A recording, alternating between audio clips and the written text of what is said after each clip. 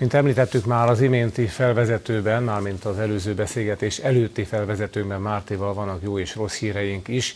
Most miközben a járvány úgy tűnik visszavonulóban van, az árak egyre inkább növekvő számokat mutatnak, illetve az infláció például az április hónapra vonatkozóan 5,1% volt, 8-10 éve nem volt ilyen rossz adatunk.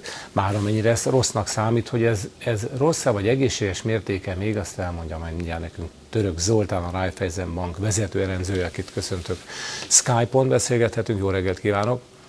Jó reggelt kívánok! Mert hogy ugye természetesen mi fogyasztók ezt negatívan éljük meg bármi is, bármennyivel emelkedik, mármint az árakat tekintve, de van az inflációnak egy egészséges mértéke, és ugye a nyugati minták szerint azért a nulla közül, körüli érték az nem feltétlenül segíti a gazdaság fellendülését vagy fejlődését. Most itt az infláció összefügg azzal, hogy újra, újraindul a gazdaság, és ezért is emelkednek az árak?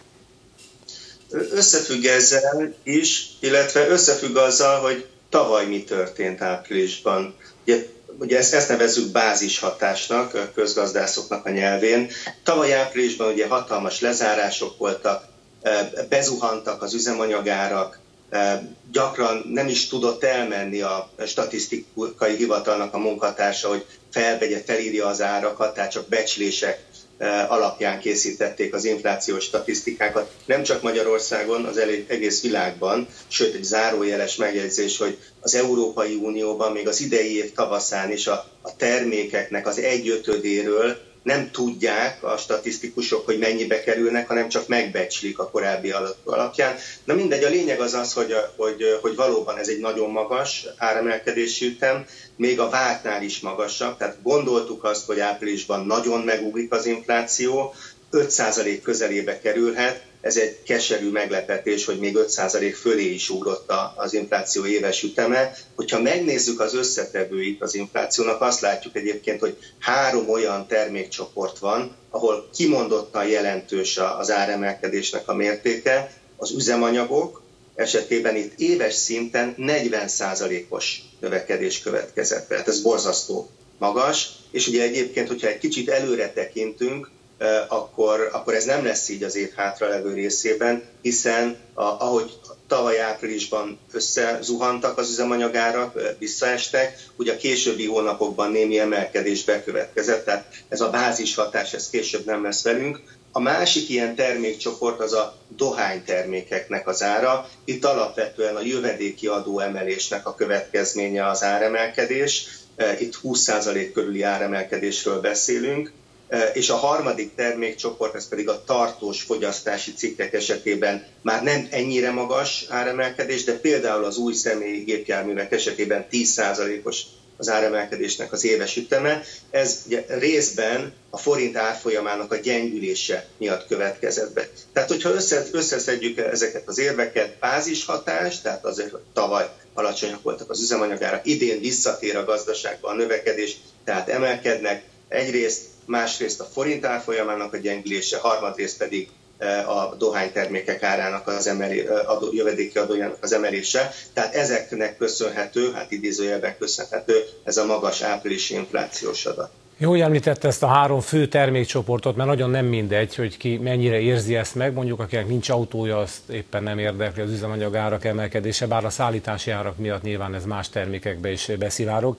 De sokkal fontosabb, vagy legalább ilyen fontos mondjuk az élelmiszer árak emelkedése, ami szintén jelentős volt, és ez, ez már tavaly nyáron is érzékelhető volt, főleg a zöldséggyümölcsárak tekintetében, és hát ugye mennyiségében és az emberek, az érintett emberek számát tekintve mindenképpen talán ez a legfontosabb és legtöbb embert érintő probléma, vagy hát áremelkedési számadat.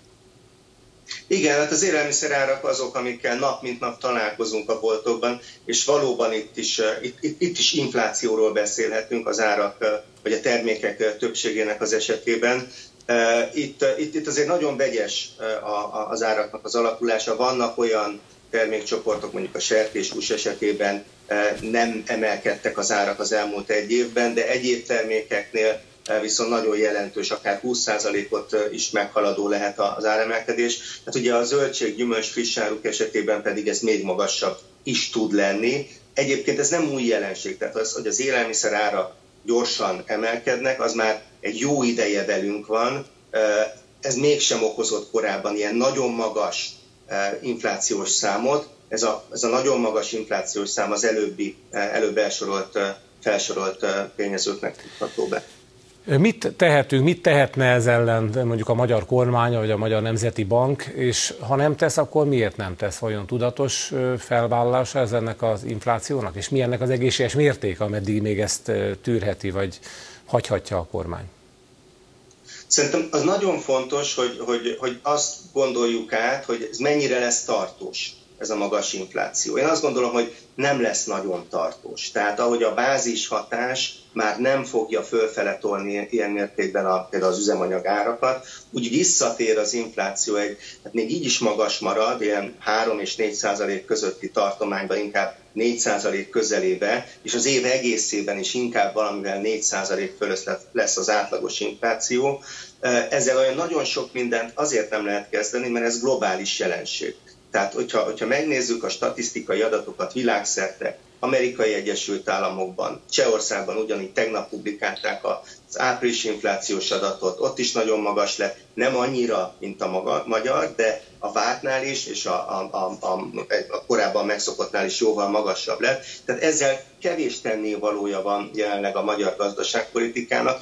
Előre tekintve, amire szerintem nagyon fontos lenne odafigyelni, az az, hogy a forint árfolyama az ne gyengüljön a következő időszakban, hanem stabilizáljon, esetleg inkább erősödjön, hiszen ugye az importtermékekért így forintban nem kell majd többet fizetni. Úgyhogy ez az, amire szerintem például a Magyar Nemzeti Bank odafigyelhet. Ezt nyilván a kommunikációval és a, a kamatpolitikával tudja befolyásolni. Hát erre nem, céloztam volna, igen, hogy az MNB esetleg ilyen módon már korábban is felmerültenek igénye beavatkozhatott volna, de nem kívántak ezért etéren semmit tenni. Nem, nem baj ez?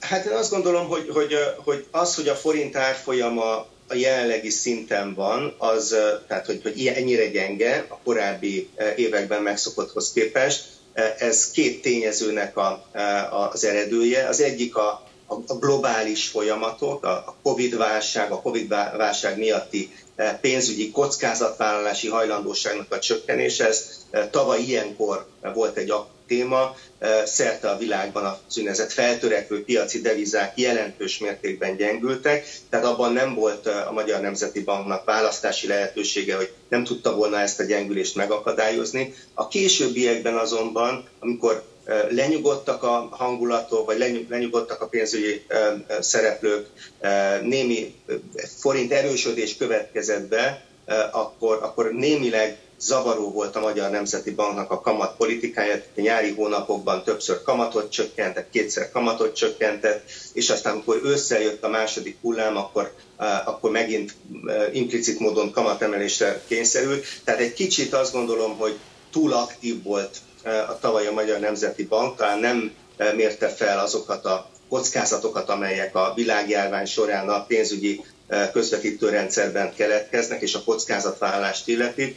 De hogyha összehasonlítjuk mondjuk a cseh koronával, vagy a lengyel zlotyival, a forint árfolyamának az alakulását, akkor azt láthatjuk, hogy, hogy egy picit lemaradt a forint, tehát egy picit nagyobb mértékben gyengült összességében, és, és azt gondolom, hogy az idei évnek kell arról szólnia, hogy a Magyar Nemzeti Bank nyugodtan, egy nyugodt kommunikációval stabilizálni fogja a forint árfolyamát. Bízunk benne, hogy így lesz. Török Zoltán, köszönjük szépen az elemzését.